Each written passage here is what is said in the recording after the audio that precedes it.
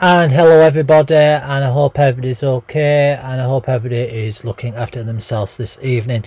Tonight's production will be on homelessness. You can be homeless for lots of different uh, things. Um, a lot of armed forces are actually homeless when they have left the army and have nowhere to go. Because armed forces don't get the support they need to get into housing. And it's like living in a different environment as well. Um, because you're no longer living in the army you're having to go back into modern day life. And modern day life is actually different um, from army life in all different aspects you could be homeless through drug and alcohol addiction. You could be homeless for not paying your rent and not that type of thing. And gambling addictions and that type of thing. You can be homeless all for that. But homeless people don't seem to get the support uh, from government or from councils because if you end up in debt uh, you're not going to be able to pay your bills, and you're not going to be able to uh, pay your mortgages, and you're not going to be able to pay anything. It could be the aspects of you lost your job. If you lost your job, you're not going to be able to afford to pay your rent. You're not going to be able to keep your business. You're not going to be able to keep that type of thing. But you also have homeless people that uh, are fallen into alcohol addiction or drug addiction, which they should really have rehabilitation uh, to actually support them um, get off that type of substance or that type of uh, addiction. Uh, but um, they don't actually get support for that. There's nowhere they can actually go to uh, get support for that, and it's really, really, really sad.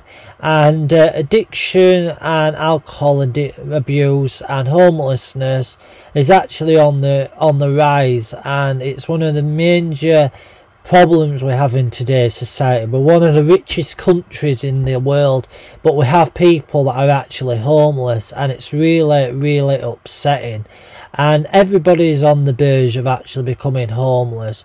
You're only a couple of pence away, in some sense, from being homeless because you don't pay your rent and it keeps building up and building up and building up. You're going to go into what they call arrears, and if you end up in arrears, your housing company or your landlord will send bailiffs in and if bailiffs have high court rates they can actually break into the property and they will just throw all your belongings out on the property without actually you having a say in that.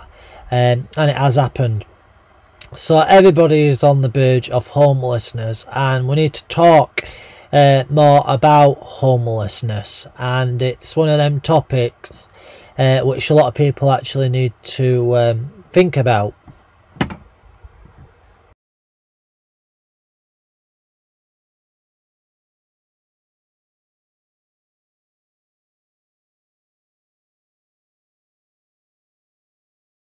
So you also have to think about it as well if you're actually a lady and you have to go into an hostel because a lot of hostels are actually full of men um, and aren't there any women about? So that woman is actually putting herself at risk of being around men as well. She might have been sexually abused you don't know uh, but she's got homeless and um, for reasons that she can't help being homeless, um, but she's having to be put back into an environment uh, which she won't be used to. Uh, she's got to actually live on the street. She's a vulnerable person because she's a lady, um, so she could actually be raped while she's on the streets. Um, she could actually be sexually abused while she's on the streets. She might even have to turn to prostitution um, to uh, feed herself she might even have to uh, get a pimp and uh, the pimp has to find clients for her as well.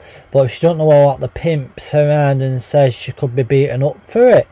Um, there's loads and loads and loads of horrible uh, things uh, when it comes to homelessness that people don't actually think about. It could even be a young young teenage girl that's actually just become homeless uh, from losing her parents, and uh, she's got to find money and ways to actually feed herself and look after herself. So she could also go down that road as well. It could be a young boy as well. Uh, it could be a man as well. Um, that has to do sexual acts as well on other men to actually pay for food. You don't actually know what the hell goes on on them streets. And look at the weather. The weather's another thing you've got to think about. The rain, the snow, the sleet, the hail. They're having to lay in street corners in front of all them weathers and there's no support for them.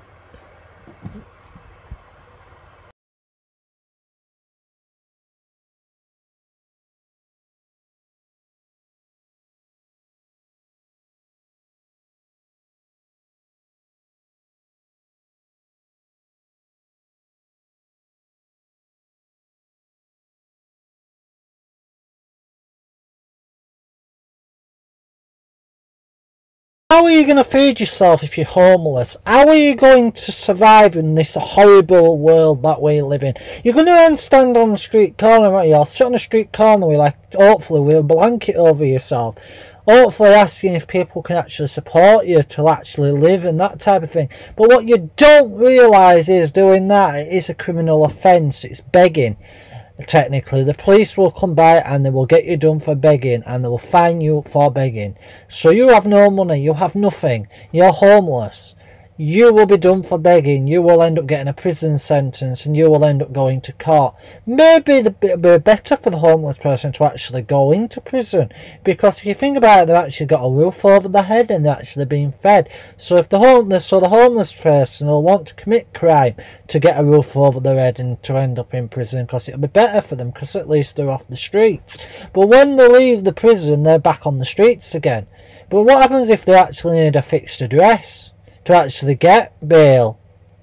You got to think about that that way as well. Don't forget, there's loads of things that it comes into it.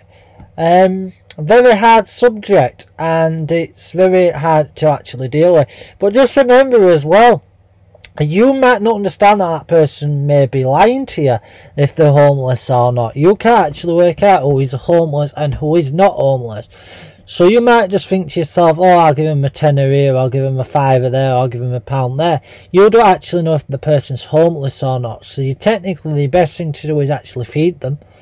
Um, get them a hot drink or get them something to eat because that is more better than what it is actually giving them money in a sense as well. But I hope you've enjoyed tonight's live and I hope it's bringed uh, a bit more acknowledgement to homelessness for you. Thank you and stay safe everybody.